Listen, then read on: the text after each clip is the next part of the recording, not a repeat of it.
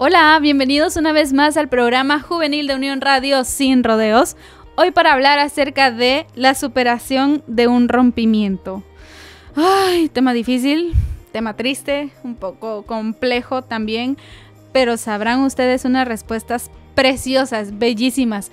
Es como el ave fénix que renace de sus cenizas. Así que espero te quedes conmigo, compartas este programa, te sea de mucha bendición, de mucha ayuda. El pastor y la licenciada vienen pero mega ultra preparados para darnos respuestas que nos van a consolar y que nos van a recordar que a pesar del dolor de un rompimiento, existe la sanación y la esperanza. Quiero invitarte también a que seas un ángel de esperanza este 2024 uniéndote a nosotros a Unión Radio y el Sistema de Comunicación Adventista, donando tu ofrenda de alabanza y gratitud. Esperamos que la radio precede sea de mucha bendición para ti y que la sigas compartiendo con tus amigos y amigas. Vamos al programa, quédate conmigo. Conéctate y hablemos sin rodeos. Sin rodeos. Amigos y amigas, hoy tenemos una pregunta que nos aqueja o que nos aquejó o que probablemente nos podría prevenir para una situación a la que no queremos llegar. Y es cómo superar a nuestra pareja. ¿Cómo es que podemos dejar ir? ¿Cómo podemos crecer? ¿Cómo podemos aceptar que ya sucedió? Que lo que pasó, pasó. Y de esta forma quiero darle la bienvenida a nuestros dos invitados que nos acompañan fielmente en Sin Rodeos, al pastor Yarros Guzmán y a nuestra psicóloga clínica Lidia González de Norato. Bienvenidos a Sin Rodeos una vez más. Ya les cedió la palabra primero. ¿Qué tal? ¿Cómo están? Muy buenas noches, buenos días. Buenas tardes también. Buenas tardes, ¿se vale? Eh, es una bendición estar con ustedes el día de hoy y pues tenemos un tema ay, un poco complejo porque ¿quién no ha pasado una ruptura y dirían por ahí de amor nadie se muere, pero literalmente se siente que sí. Agoniza uno. bueno, pastor, bienvenido. Pues eh, igual un saludo para ustedes, amigos que están eh, sintonizando la radio, bien siguiendo las páginas a través del Facebook. Es un gusto saludarles y una temática bastante interesante. Como ustedes bien dicen, pues todos de alguna manera hemos pasado por alguna situación parecida, ¿verdad? Al tema que vamos a tratar. Sí, ¿cómo superar mi rompimiento? ¿Cómo aceptar que ya sucedió? Y quiero eh, iniciar con la licenciada. ¿Cuáles son las etapas emocionales comunes que una persona atraviesa después de un rompimiento? Gaby siempre de una vez y yo quiero tener una introducción, ustedes me perdonan. Ok, ¿sabían ustedes que el ser humano tiene que atravesar siete duelos, sí o sí? en la vida En la vida, mínimo siete duelos. No me digas. Es complicado. Cualquier tipo de duelo. O sea, pero... no solo el fallecimiento de un ser querido. Sino que en algún momento... Un trabajo, Un trabajo, un cambio de casa, siete duelos. El ser humano está preparado para eso. Pero hay etapas. Todo va a depender como cualquier tipo de duelo. No es lo mismo que el pastor se nos enferme, primero Dios no, y vaya desvaneciéndose y muera. Y sabemos y esperamos y va a ser impactante, pero es lo que esperamos. Que de repente Gaby se nos desaparezca y aparezca muerta. Horrible, horrible lo que estoy diciendo, pero es totalmente distinto y lo mismo pasa en una ruptura amorosa. Es diferente ver que el pastor y yo somos pareja y de repente vamos peleando, vamos peleando, vamos peleando y lo esperado va a ser que rompamos. A que de repente en algún momento seamos pareja y él me diga, mira, me enamoré de alguien más. Entonces viene la primera etapa, que es el shock. Mm, porque tú mm. no sabes, eh, o sea, no sabías. ¿De dónde? ¿Cómo? ¿Cuándo? ¿Por qué? Exactamente, ¿Quién? exactamente. Entonces viene el impacto shock. Dos, negación. Tres, tristeza profunda. Cuatro, culpa, porque de plano yo no soy suficiente enojo y la última aceptación y aprendizaje. Wow, son seis etapas en total entonces. Y estamos hablando de un rompimiento eh, emocional, sentimental. Exactamente. Entiendo que esas mismas etapas podrían funcionar o aplicarse para los otros rompimientos. Sí, se pueden aplicar. Ok. Pastor, ¿qué enseñanzas podemos encontrar en la Biblia que nos ofrecen ese consuelo y esa esperanza para aquella persona que está atravesando un rompimiento? Uno es que nada se le escapa de las manos del Señor. Dice la Escritura que aún nuestros cabellos están contados por el Señor. No se cae uno sin su voluntad. O sea, si, si la Biblia fue específica en decir que ni un cabello, que son, ¿qué? Millones, de... y, y, que cuando se peina usted, ¿cuántos quedarán en el cepillo, en el peine, verdad? Cantidad. Pero ni uno de ellos cae eh, sin que el Señor lo sepa. Eh, Dios está al control de todo y sabe perfectamente que el ser humano al vivir en esta tierra pasará por emociones diferentes, por situaciones diferentes, unas de alegría, de felicidad y otras que le van a romper el corazón. También lo sabe. Así que Dios está al control, nada se escapa de sus manos. Qué consuelo, pastor. ¿Y cómo podría una persona que probablemente no ha tenido una comunicación constante con Dios y se, se encuentra en esta agonizante situación, como lo mencionaba Lidia, que nadie se ha muerto de amor, pero sí que duele?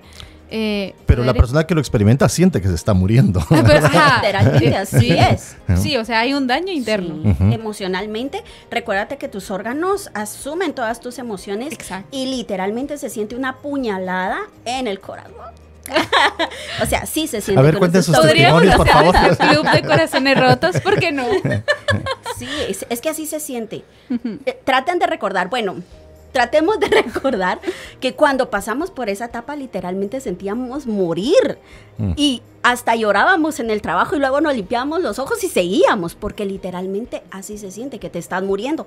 No invalides lo que estás sintiendo, porque así se siente. Te lo podemos Eh, afirmar tres personas En el próximo programa escucharán el testimonio de Gaby y de la licenciada. ¿Y el pastor? ¿Por qué no? ¿Por qué no? Sí, el hijo, hace un ratito Yo dijo. estaré con Jason en "Hmm, cámaras. Ya, y Jason también lo vamos a escuchar. Aquí todos nos vamos a dar a escuchar. Pastor, pero eh, regresando, ¿cómo podemos nosotros o alguien que no tiene como esta comunión con Dios poder encontrar este consuelo? ¿Cuál Bueno. sería el primer paso? Este, la Biblia menciona claramente que el que se acerca a Dios, perdón, crea que le hay y que es recompensador de los que le buscan. Eh, uno entender claramente que este mundo no brotó de la nada. Hay un diseño inteligente, dicen los, científicos, eh, pero realmente está Dios. Lo podemos ver en diferentes facetas de la vida. Y lo que, tiene, lo que tiene que tener el ser humano es la humildad de reconocer que aunque no lo veo eh, y no lo perciba cerca mío, deba creer que realmente me abraza. Porque la manera en que podemos ver cómo Dios actúa en nuestra vida presente y actuará en el futuro es que volteemos a ver hacia atrás, cómo Dios en diferentes circunstancias eh, nos ha ayudado. Las personas que no quieren tener la humildad de reconocer a Dios van a decir este, la vida, las consecuencias, eh, o dicen es que la vida me ha tratado mal o la vida me ha tratado bien, etcétera. Son las circunstancias de la vida, pero en medio de todo, Dios ha estado allí guiándonos y protegiéndonos. Gracias por eso, pastor. Eh, Lidia, yo entiendo que después de un rompimiento lo último que hacemos es cuidarnos. Es como preocuparnos por nosotros mismos. Me gustaría que nos dijeras algunas técnicas de autocuidado que recomiendes para alguien que está lidiando con el dolor de una ruptura. Qué triste. Ah, no, Sí, porque, por broma. ejemplo, yo pienso... Recuerdo, no te preocupes. Yo recuerdo, por ejemplo, eh, que no, no da hambre. Sí. y se pierde el sentido, el sabor. Incluso comes y no se siente el sabor. Es que de hecho eso- esa es una de las etapas de, de- de ese Del duelo, duelo. de De ese la duelo. negación. Es una negación. Sí. eh, Es un incluso es- Como autoflagelarse. Sí. No, incluso no hay, no hay, no hay deseos de, de lo que antes le agradaba de convivirlos. Antes tal vez le gustaba salir a los centros comerciales e ir y tomarse un helado, qué sé yo. Y después las amigas o los amigos le invitan y dicen, no, no tengo ganas. Le encantaba el fútbol y no había partido que se perdiera. Es más, hasta peleaba con la pareja por el fútbol, pero ahora no, no tengo ganas. Es decir, Ajá. pierde el, pierde el sentido de ciertas cosas. Sí. ¿Y saben por qué se pierde ese sentido? Porque el cerebro ya estructuró que íbamos juntos al fútbol, que íbamos juntos al centro comercial, que íbamos juntos, teníamos una rutina. Y entonces parte del autocuidado en algún momento es, si tú no te sientes listo para salir, por favor, vive tu tristeza. Nadie más va a poder abrazarte que tú mismo. Entonces, todas esas rutinas que en algún momento estructuraste en tu cerebro, vas a tener que volver a salir, pero va a ser a tu tiempo, porque, les recuerdo, el duelo no va a ser el mismo que para el pastor, que para mí, que para Gaby. Puede durar para mí un mes, para el pastor puede durar que Diez un- días. die- Tampoco. No le creemos Puede un- durar un año, dos, para Gaby tres. ni un año. Puede durar dependiendo de tus fortalezas. Claro, yo Pero- creo que tiene mucho que ver la inteligencia emocional. Emocional, definitivamente. Ahora, dentro del autocuidado está lo siguiente y los invito a hacerlo. Yo creo que ninguno de nosotros lo hemos hecho. Pastor. No, puede continuar, no hay problema. Ok. Parte del autocuidado es lo siguiente. Ok. Estás pasando por una situación difícil, pero haz una lista. ¿Qué cosas no te gustaron que hayas vivido en esa relación? Mm, Que no permitirías volver a vivir o que volvieran a pasar. Parte del autocuidado es ponerle nombre porque muy difícilmente a veces podemos reconocer cosas que nos laceraron y qué difícil es hablarlas. Y el pastor mencionaba algo, ¿saben? Una de mi ruptura duró un año de depresión. Depresión, te hablo que dejé de comer, me costó terminar ese año la universidad y solo por el amor de mi papá yo salí de esa depresión, pero no era porque él me hiciera falta. Él llegó a golpearme sin que yo me diera cuenta. Él llegó a lastimarme físicamente, emocionalmente, que era una dependencia y un temor espantoso de pensar de que él se iba a ir porque sabía que me iba a hacer más daño. Pero yo no lo podía ver. ¿Saben quién lo vio? Que en algún momento se me abrió el vestido y mi hermano vio un morete y me dijo, Uy. ¿qué está pasando? Yo no tenía ni el valor de poder hablar de eso. Pasé un año culpándome y no pudiendo perdonarme Uy. porque yo no lo veía. No lo veía. Entonces, ahora que estamos en esta etapa y que posiblemente pudiese pasarte a ti, gracias a Dios, que sucedió y ya no está conmigo. De verdad, porque no sé qué hubiese pasado después, ya en un matrimonio. Y ojo, un mal noviazgo no se reestructura y se compone con un buen matrimonio. Jamás. Eso es mentira. Haz una lista de qué cosas no permitirías en ti. Y hay una frase, nunca voy a permitirme esto. Y puedo decir, nunca jamás voy a permitir que me golpeen. Nunca jamás voy a permitir que me mientan. Nunca jamás. Pero esto va a ser un proceso que tal vez no puedas hacer solo. Va a depender mucho de la temporalidad. Porque yo duré tres años y medio con esta persona. Ujú. Entonces la temporalidad que tengas con tu pareja va a necesitar ese autocuidado. Sobre todo el hecho de que ya reestructuras una vida con esta pareja. Y entonces te va a llevar tiempo, pero no es imposible, se los prometo que no. Miren, yo soy muy feliz. Amo a mi esposo con toda mi alma. Entonces Dios tiene un plan preparado Claro. para ti, maravilloso. Y si te permite pasar cosas, yo ahora lo puedo entender. Puedo entender que alguien me diga, mira, estoy pasando por esto. Y yo, no te preocupes, válido lo que sientes porque ni siquiera yo pude reconocerlo. En tu poca experiencia no puedes reconocer que estás pasando por una relación no tan sana. Haz una lista. Por favor, haz esa lista, te va a ayudar mucho. Habla de lo que sientes, por favor, valídelo. Padres, si nos están escuchando, si su hijo o su hija pasa una ruptura, por favor, acompáñenlo, ¿sí? No los juzguemos. No los culpemos, suficiente tienen con la situación que están pasando. Por favor, acompañémoslos. Es muy difícil salir de una ruptura solo, acompañado es mucho más fácil. Y por favor, dale tiempo a la tristeza, no la reprimas. Si tú la reprimes y te haces el valiente, este no es el momento de valentía. En ningún tipo de duelo sirve. Ujú. Sé fuerte por tus hijos. Eso no le va a funcionar a él porque está pasando por una ruptura y él tiene que llorar porque ese es el momento de llorar. Entonces, este es el momento de que tú llores, vivas la tristeza, pero te prometo que va a pasar un tiempo y que va a pasar. Va a sanar. Te prometo que va a pasar. Va a sanar. Pero deja que la tristeza en este momento salga, que fluya. Te lo prometo. Déjalo fluir, deja fluir el dolor y va a pasar. Ya ve, pastor, ya nos contó su experiencia. Ahora Sí, les solo toca. falta Gaby. Gracias por abrirnos Ahora les toca. Lidia. Gracias, sí, sí. No, a través de las experiencias creo que eh, aprendemos muchísimo, ¿no? Eh, eh, eh, podemos eh, incluso vernos retratados en algún momento de la vida. Y, y creo que una de las claves es, la licenciada mencionó varias veces, eh, eh, ayuda, ayuda. Es importante pedir ayuda profesional en algún momento. Porque las etapas son normales cruzarlas, la negación, el enojo, la culpa, la depresión, la tristeza, etcétera, cualquiera que sea el orden, ¿no? Eh, va a haber un momento en que va a comenzar a negociar. Ese permite a negociar y decir, bueno, eh, es- estoy replanteándome, estoy viendo qué, qué no permitiría, qué permitiría, estoy aprendiendo y va a llegar el momento a la aceptación. ¿Cuánto puede durar? No sabemos. No hay un, un tiempo determinado, solamente déjese acompañar eh, es importante pedir, pedir, ayuda. Y la licenciada repitió varias veces una frase y es muy importante. Los que se puede sentir que estamos muriendo por eso, realmente es por lo que estamos experimentando en el instante. Pero si tan solo viéramos las cosas unas semanas, meses o un año más adelante, vemos que se va a salir adelante. Y no es que se perdió un año, fue un año de aprendizaje que nos va a ayudar a madurar para enfrentar una nueva relación. Y bueno, desde la experiencia personal igual y también pareciera que fuera necesario. Yo sé que no suena bien, pero uno nunca es el mismo después de un rompimiento. Jamás. Para bien o para mal. Claro. Sí uno después de un rompimiento se conoce, descubre qué, qué, cosas hizo bien, qué cosas hizo mal, qué cosas no quiero. Porque sí, hay cosas que no voy a volver a permitir que me hagan en mi nueva relación, pero hay cosas que yo no voy a hacer porque perjudicaron.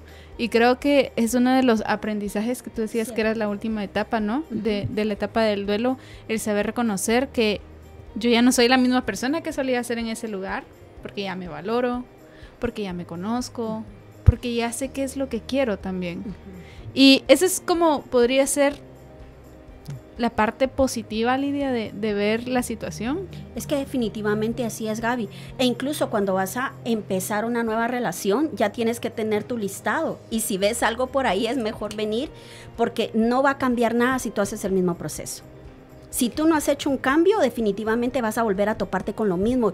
Y en algún momento han llegado personas a la clínica con, me topo con el mismo tipo de hombre, me topo con la misma tipo de mujer. ¿Qué es lo que está pasando? Es que estás haciendo lo mismo. Entonces, Hay un patrón de conducta. Exactamente. Entonces es necesario que en realidad, miren ustedes, la escritura terapéutica es una bendición enorme. Tú tienes que llevar un diario emocional. Y cuando tú ves, ok, ¿qué está pasando? Estoy volviendo y es con un mismo tipo de patrón que hago. No, mejor de ahí salgo para no involucrarme más emocionalmente y que me vuelva a doler de la misma magnitud. E incluso distinto, me puede doler, el doble porque ya pasé por algo similar. Entonces, vale la pena en algún momento ponerse frente a uno y como tú decías, conocerse también y utilizar la escritura terapéutica. Es una técnica que yo recomiendo. Haz tu lista y eso te va a ayudar muchísimo. Sí, adelante. No, no, no, no, escucho. Es que aprovechando que mencionas la lista, me, me gustaría hacer como hincapié en esa lista como ser objetivos y ser realistas, porque a veces caemos, sobre todo tal vez, no sé si los hombres no he escuchado a un amigo decirme como, ay, escribí una lista de mi chica ideal, o, cosas que no quiero que me haga mi bien chica. Bien tienen, bien tienen, ¿o no, pastor?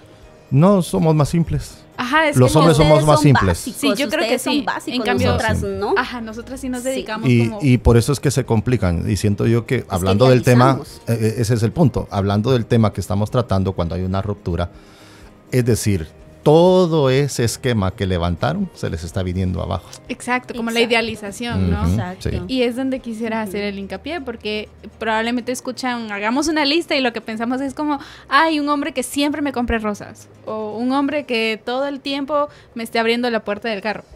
Son cosas que no van a suceder todo el tiempo. Aunque nos gustan aunque nos gustan. Una vez a la semana. Pero ¿dónde dice que debe hacerse? de la negociación. Pastor, no, broma, es otro programa. Es otro, es otro programa. Sigan adelante. De apagarle el micrófono. Pues. No, pero regresando, es precisamente eso. Creo que la lista, o tú me corriges, Lidia, que la lista va un poco a no volveré a que me alcen la voz. Exactamente, no es una lista de idealización, no, es una lista lo que tú no permitirías que te volvieran a hacer por ejemplo, como tú decías, no voy a permitir que me vuelva a mentir. Claro. No voy a permitir que me empuje. No mm. voy a permitir, porque esa es una puerta, que me alce la mano, que me levante la voz.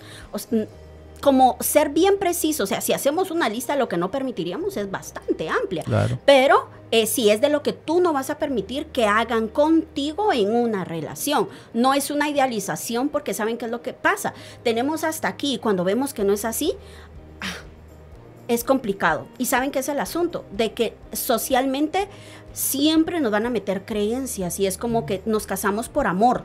¿sí? Estoy con alguien por amor. ¿Y qué pasa si se acaba el amor? ¿Puedo o no puedo romper eso? Y en algún momento queremos tener la esperanza de que va a haber un cambio. Pero cuando no se da, es más válido terminar una relación porque ya no hay amor. ¿Me entienden? Sí, e, en ese, bueno, cuando hablamos del amor, hablamos del amor eh, general que está, eh, que se maneja con los seres humanos y normalmente se centra en las emociones. Sí. Ahora, el amor bíblico es un principio, ¿verdad? Y eso, eso es eterno y eso sí permanece y va más allá de las emociones o de la sensibilidad que podamos eh, tener. Pero trayendo siempre a, a, colación de este, de este tema, vale la pena familia eh, tal vez mencionar dos aspectos y les pregunto a ustedes. eh, creo que nos hemos enfocado cuando alguien nos ha hecho daño, pero las relaciones también se pueden romper, se mencionó al principio, como cuando sucede que una persona enferma y fallece. Alguien va a sufrir un duelo. Las relaciones pueden enfriarse, como usted decía, mencionó, se va acabando el amor, pero puede ser que ya esa relación se va deteriorando paso a paso, paso a paso, se han ido lastimando, es decir, como que poco a poco, a poco, a poco hasta que rompen. Aún en ese momento, cuando alguien toma la decisión, porque alguien la toma, y a veces no se tiene el valor de tomarla, está esperando que el otro la tome. Y cuando el otro la toma y dice, mira, hasta aquí llegamos, eh, ¿quién? ¿Hay, ¿Hay, una persona más? Quizás no hay una persona más, es sencillamente que esa relación ya no funcionó. Entonces, cuando se toma esa decisión por un lado, el otro lado puede, eh, eh, pues ambos van a pasar también por ese proceso, uno de una manera y otro de otra manera. también se puede salir de ello. Es decir, cuando hablamos de algo drástico que, el, que, el, que digamos que la pareja me hizo, hacemos esa evaluación, ese listado, y decir, no voy a permitir esto. Pero ¿qué pasa cuando esa relación se ha roto? ¿Paso también por el, mismo proceso? ¿Paso por un duelo? ¿O es sencillamente que se rompió, se rompió? Es que hay duelos que se viven también dentro de la relación, Lidia. Previo. Sí. O sea, las etapas, las etapas no es como un contrato de adiós, adiós. O sea que hasta que rompes comienzas tu duelo, pero probablemente en la relación. Lo puedes vivir desde. Es que saben qué es lo que pasa que aquí se mezclan muchos temas porque viene la responsabilidad afectiva y entonces si tú no ves que el otro te da, vas va disminuyendo el amor, va disminuyendo y literalmente vas viviendo un duelo en medio de la relación, o sea, ni siquiera han terminado y sí lo puedes vivir. O sea, te preparan y ya cuando dicen, mira, ya no queremos, ah, está bueno, porque ya pasaste como toda esa fase de enfriamiento, eh, no atención, tristeza, abandono, enojo, de, de parte de, de, alguno de ellos dentro de la relación. O sea que aquellas frases románticas de película como decir, mira, yo tengo suficiente amor para mí, para darte y para ti. No importa que tú no me ames, eso es ficticio. Sí. Ay, yo, yo totalmente estoy de acuerdo. que suena, suena romántico. Sí, suena romántico, pero suena bonito. y puedo asegurarles que cantidad de damas pueden llorar con esa frase en una película con un poco de música de fondo y él hablando, le decía, ay, qué romántico, ¿verdad? Pero, no, pero, no, pero ya los bajamos de la nube.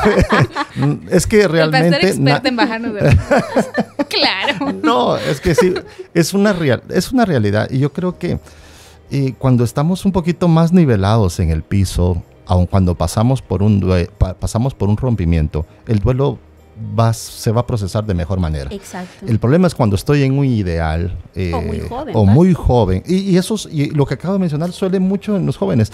Hay, hay noviazgos, me he dado cuenta, de 15 años, 13 años, 17 años eh, eh, hacia abajo. Eh, realmente hay que cuidarse en eso. Y creo que ahí me, mencionábamos un aspecto también la licenciada, que con una relación que lleva 3, 5 años. Yo conocí a, unas personas, eh, están casados, pero se hicieron novios, creo yo, este, desde básicos.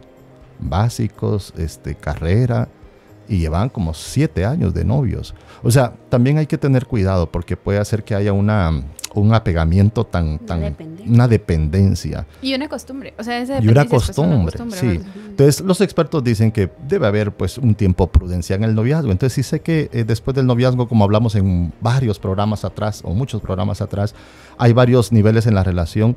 Pues sabiendo que el noviazgo es la antesala al matrimonio, ¿verdad? Debo tener una edad, debo tener cierto, cierto, cierto mm, madurez también para, para poder emplearlo. Pero si ya estoy en ello, y pasa por una ruptura, hay sanación con la ayuda del Señor. o sanidad. Eh, totalmente. Y, hablando de ello, pastor, una persona que está atravesando un duelo, ¿cómo puede refugiarse en la fe? ¿Cómo puede recordar a Dios en un momento en el que no queremos saber nada? Es lo más maravilloso. ¿Quién le ayudó a superar, licenciada, esa etapa que usted vivió? Lo estoy preguntando intencionalmente para darle la respuesta. Usted mencionó una, ella, ella mencionó una persona clave, Sí, mi papá. Su papá. La Biblia dice que tenemos, incluso en la oración modelo, Padre nuestro que estás en los cielos. Dios está listo a cobijarnos. Quizás podemos refugiarnos allí en nuestra recámara con las luces apagadas, hasta probablemente con música decepcionante, ¿verdad? Para, para, pasar nuestro dolor o sacar nuestro dolor. ahí está el Señor. No, no, estoy hablando ahorita de la compatibilidad entre la música secular y Dios, no, estoy hablando de la protección y el cariño Claro. de Dios. Eh, Dios está allí, eh, no lo percibimos, pero abrazándonos, a- a- acompañándonos a pasar ese proceso. Eh, la mejor manera sería orar. Orar es no solo hablarle palabras santificadas a Dios, es hablarle de lo que estoy experimentando. Puedo estar ahí sentado en mi cama y decir, Señor, me siento de esta manera, estoy devastado, siento que, que se me rompió el corazón, siento que ya no tiene sentido mi vida, yo sin esa persona siento que ya no vivo, pero ¿podrías tú, Señor, ayudarme a salir de esto? Ese ya está haciendo una catarsis, ¿no? Y Sí, me gustaría agregar en esa parte, pastor, ya que hablamos de Dios, eh, la oración en silencio también. Por El- supuesto. Solo quédate acá, porque a veces no podemos hablar. O sea, nosotros hemos Sí. expresado cómo, eh, Escríbelo. ajá, cómo no podemos expresar nada, cómo nos sentimos totalmente. mira un procedimiento que mencionó la licencia. Si no, no podemos hablar, es comenzar a escribir. A veces da por escribir también, ¿no? Sí. A veces da por escribir. Comenzar a escribir, a contarle a Dios de una manera. Ajá. Señor, me siento así, ¿verdad? No tengo que usar palabras rimbombantes, ¿verdad? Como Dios santo, que moras en tu trono de gloria. No, simplemente, Señor, me siento de esta manera. un Una carta, claro. Entonces estoy cumpliendo varios aspectos, lo estoy hablando. Número dos, me estoy abocando a la persona principal que tiene control de mi vida, aunque yo no se la haya entregado Y completamente. al yo creo que el- igual y al único que nos puede sanar el corazón, pastor. Y es el que puede sanar, sí, definitivamente. Sí. Es, es, es, es la manera. Y refugiarme en la palabra de Dios. Eh, ¿Quién no quiere escuchar palabras en algún momento que puedan hacerlo sentir bien? La palabra de Dios siempre tendrá un mensaje. Lea la palabra. Y cuando nos refugiamos en la palabra, probablemente nos vamos a ir este, apartando poco a poco de aquellos pensamientos que me estaban deprimiendo Exacto. y va cobrando sentido la vida. Comienzo como a experimentar, ah, veo que yo aquí con esto no muero, todavía hay un propósito para mi vida, todavía algo más para mi vida, puedo salir adelante. Yo tuve un rompimiento hace años y, y yo probé muchas cosas en Mm. el sentido de busqué ayuda psicológica, hice ejercicio, eso es algo que yo no hago, pero hice ejercicio eh, acompañada de, de esta orientación espiritual propia. Yo nunca fui con un pastor y- como que lo formalicé, sino dije, bueno, es ahora donde tú y yo nos afianzamos. Claro. Y es parte de lo que le mencionó Lidia, de que estas situaciones para bien o para mal nos hacen crecer. Sí. Porque mi relación con Dios, cuando yo vi eso, mi fe creció. Yo dije, me sanó. Ah, sí existe. Y es algo que me gustaría dejar y compartir a modo de, si estás atravesando esto, veámoslo como una oportunidad de conocernos, conocer a nuestros seres queridos, quiénes sí están ahí para nosotros y quién es Dios. Y que sus promesas sí se ven cumplidas en nuestras vidas. Es, es muy conmovedor poder hablar de eso. He, he sabido de varias personas que han pasado por esa, por esa situación y se han aferrado a Dios. Es más, han tenido una experiencia más cercana con Dios en medio del dolor. Y creo que es eh, la ayuda profesional, la ayuda espiritual, el catarsis, el escribir, el hablarlo, nos ayuda a pasar ese duelo. Definitivo. Hay un mecanismo de defensa que fue el que tú utilizaste. Se llama sublimación. Yo también la utilicé. Le di los mejores años de mi vida a Dios. Tenía, mm, el pastor me decía el la multiusos, porque era desde secretaria hasta diaconisa. Pasé por todos los departamentos, pero esa etapa me ayudó muchísimo a entender que mm, necesitaba un tiempo para, para poder darle todo a Él. Y esa parte de mi juventud fue toda para Dios. Créanme que definitivamente si tú estás agarrado a Dios es mucho más superar cualquier tristeza. ¿Estaba? Sí. ¿La lloré? Sí. ¿La pasé? Sí. Un año. Pero pasó. Sí. No, yo. Eh, solo sublimación, dice. Sí. Eh, Es eh, cuando hacemos algo bueno con nuestro dolor.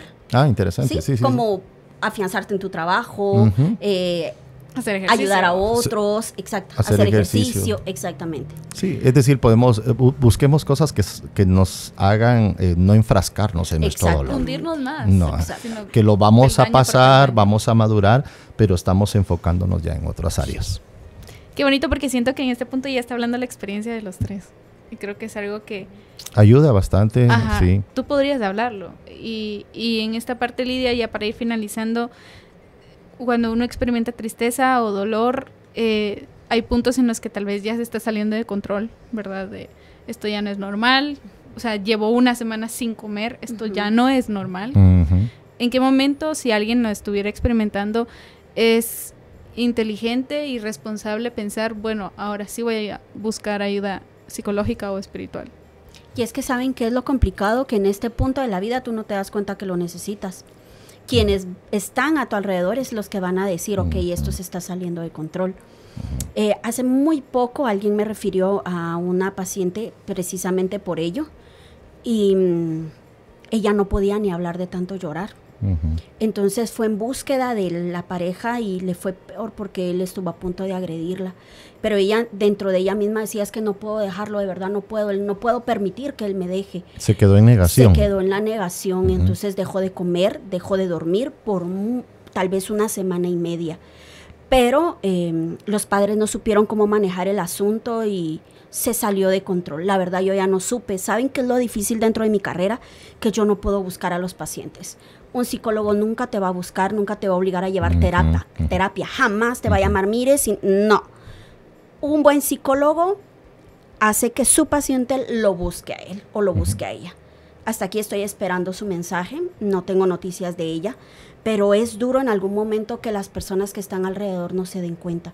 Entonces, si tú ves que después de un mes sigues llorando demasiado, ya te paralizó. Cualquier situación emocional que te paralice, ¿a qué me refiero con paralizar? Ya dejo de ir a la iglesia, dejo de ir a estudiar, dejo de ir a la universidad, dejo de ir a trabajar, dejo de comer, dejo de hacer todo, ya te paralizó. Ok, necesitas ayuda. ¿Sí? Necesitas ayuda. Ten la valentía de decir, mira mamá, mira papá, esto me está pasando, yo de verdad necesito que por favor me busquen a alguien para que me ayude. ¿Por qué? Porque vas en decadencia, vas cayendo, vas cayendo y puedes llegar a tener una depresión mayor que va a necesitar no solo la psicológica, sino alguien más. E incluso exámenes, porque recuerden que la depresión mayor, llega a lastimar algún área, se ve comprometido el cerebro. Entonces, de verdad, eh, si estás pasando por algo, ahórrate algo. el pastor mencionaba algo. Jóvenes preciosos, sé que experimentar el amor es maravilloso porque es la única emoción que hace que tú te sientas súper poderoso. ¿Quién no enamorado estudia más? ¿Quién no enamorado hace cosas que nunca pensó que haría? ¿Saben qué es lo difícil cuando idealizas y dices, no, pues con ella me caso, con él me caso y porque es la primera y ahí me quedo? ¿Qué pasa cuando las cosas se salen de control? No tengan noviazgos tan jóvenes, que sean relaciones eh, tan formales, ¿sí? Donde involucre familia y todo el asunto, porque incluso las familias se ven deterioradas y hasta se salen de la iglesia cuando hay rupturas, ¿o no, pastor? Ya hay conflictos más serios. Serios. Trata de tener una relación de noviazgo, el pastor lo mencionó, cuando ya estés maduro emocionalmente, a partir de 18 años ya estamos queriendo madurar, porque el cerebro todavía no madura, pero ya vas a tener como responsabilidad afectiva. Antes no lo hagas, tienes muchas cosas por vivir. Y miren ustedes, después de una ruptura bien fuerte, algunos logramos sobrevivir, otros no. Otros vamos y vamos y seguimos haciendo lo mismo patrón, dañando, dañándome, dañando, dañándome, y es complicado, más cuando ya hay niños y cuando hay un matrimonio. Pero cuando eres joven, acabo de tener una paciente que salió de una ruptura y antes solo me hablaba de él y lloraba y lloraba y lloraba y solo de él. Ahora es como mis amigas y fuimos y salimos mm. y comimos y fíjate que yo, cómo amo ver que un ser humano haya logrado superar, pero que empiece a trabajar en ella o en él mismo para luego darle algo bonito a alguien más. No te metas a una relación antes de estar maduro emocionalmente, evítate problemas, vive la vida intensamente, hay tantas cosas que puedes hacer y no necesariamente necesitas a una pareja, necesitas amigos, necesitas familia y tiempo para ti. Sí, el dicho, un clavo saca otro clavo, no es verdad. no, funciona. Eso no, es verdad. Eh, va a repetir un patrón y, y se va a dañar más personas. y se acumula, es más. sí. Bueno, llegamos a los últimos minutos. Em, me gustaría que dejara Pastor algún consejo bíblico, licenciada, si tiene un último consejo. Con mucho gusto, dos citas bíblicas que fortalecen la vida. Puede ser que la persona que nos esté viendo o escuchando pasa por una situación amorosa de noviazgo en, eh, que se ha roto o probablemente alguien que está viviendo un duelo por una ruptura matrimonial. Eso es un poquito más delicado y también sería bueno tratar un, programa acerca de ello, ¿no? que es un proceso un poquito más complejo porque hay otros factores. Sin embargo, hay un denominador común. Dios está al control de usted. Dice Isaías 41, 10, no temas, porque yo estoy contigo. No desmayes, no te desanimes, porque yo soy tu Dios que te esfuerzo. siempre te ayudaré, siempre te sustentaré con la diestra de mi justicia. Y el versículo 13 del capítulo 41 de Isaías dice, porque yo Jehová soy tu Dios, y esta frase me encanta, que te sostiene de la mano derecha y te dice, no temas, yo te ayudo. Dios está acompañándote en este proceso. Vas a salir con la ayuda del Señor y tienes que ver un programa hacia atrás acerca de la autoestima. Tu valor no radica en esa relación, tu valor no radica en lo que tu pareja puede sumar a tu vida, aunque puede hacerlo, pero tu valor radica en lo que Dios ha hecho en ti y lo que tú vales para Dios. Bellísimo, gracias por eso, pastor. Licenciada. Muchas gracias, pastor. Vive y deja vivir. Sencillo. Vive y disfruta la vida tan intensamente como que de verdad se te fuera a acabar porque, ay, el único recurso que tienes en esta vida que nadie te lo va a devolver es el tiempo. Y el tiempo mal invertido en alguien que pudo lastimarte, no, nunca lo vas a recuperar, definitivamente vas a aprender, pero métete esto en tu hermosa mente y si hazla una creencia. Vive y disfruta la vida, pero también vive y deja que otros la vivan. Excelente. Gracias a ambos por este tema. Gracias también por dejar su corazón acá con nosotros y compartir respuestas. Esperamos que te puedan ayudar, que te hayan abrazado, que te puedan dar un consuelo para esta situación que es difícil de enfrentar. Sin rodeos. Sin rodeos.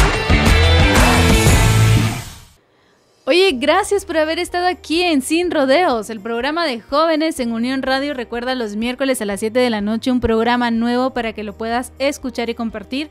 Si quieres conocer nuestras otras temáticas, ve a nuestro Facebook Sin Rodeos, encuentran los videos por ahí o en YouTube en nuestro canal Sin Rodeos Unión Radio Guatemala. De verdad, hay mucho material. Hoy volteo a ver para atrás y puedo darme cuenta de cuánta cuánta ayuda hemos recibido gracias a Dios, cuánta ayuda hemos podido proporcionar gracias a Dios a través de la orientación espiritual y psicológica con el pastor Jarros Guzmán y la licenciada Lidia González de Norato.